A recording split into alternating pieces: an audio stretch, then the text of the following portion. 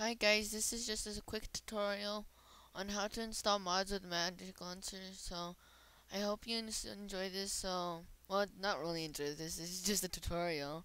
So, I'm going to show you. So, what happened to my mods? I got trolled. Oh well.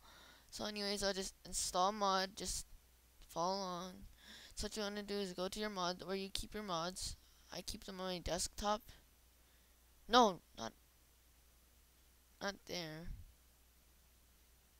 I have to go here and stuff. Well, yours will be different because you'll go to wherever your mods are and then I'll select, um, hold on a sec. Do I have any mods? No. Well, oh, oh no, I don't want, oh boy. I want to go to Minecraft mods and then I'll install mod loader.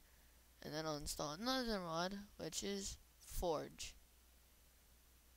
So if you want forge if you put it on top of mod loader it won't work. So what you have to do is put it under mod loader. Voila it works. I mean voila it works.